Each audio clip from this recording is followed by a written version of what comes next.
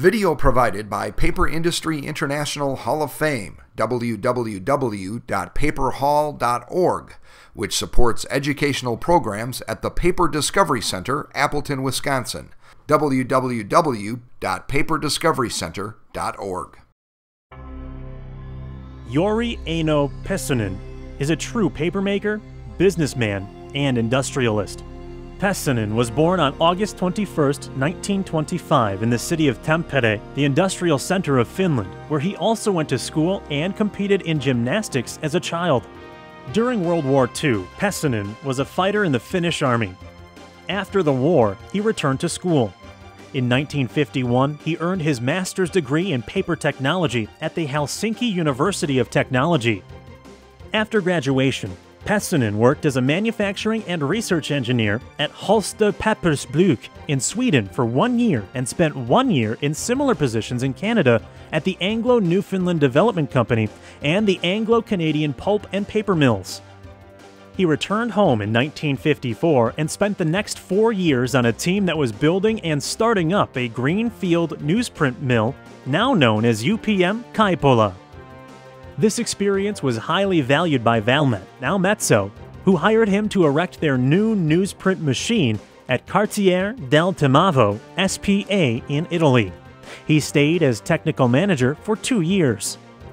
On his return to Finland in 1960, Pesonen spent the next 14 years in the little mill town of Kajaani in northern Finland as the technical manager and later as mill manager, while also overseeing the building of Kajaani's second and third machine.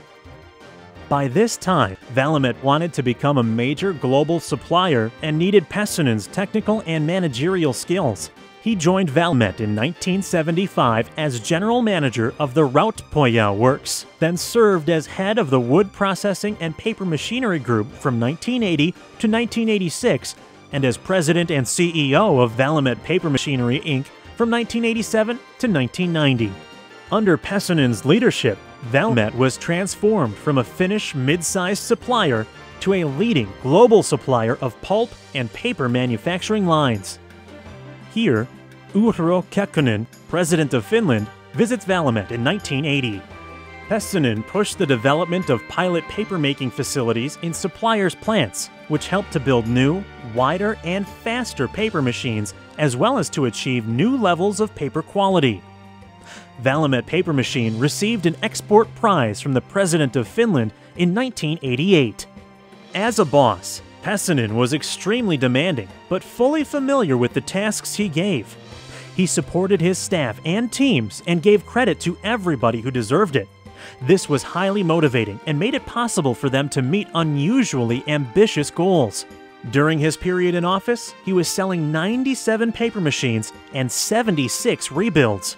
But there was still a little time to enjoy a game of golf.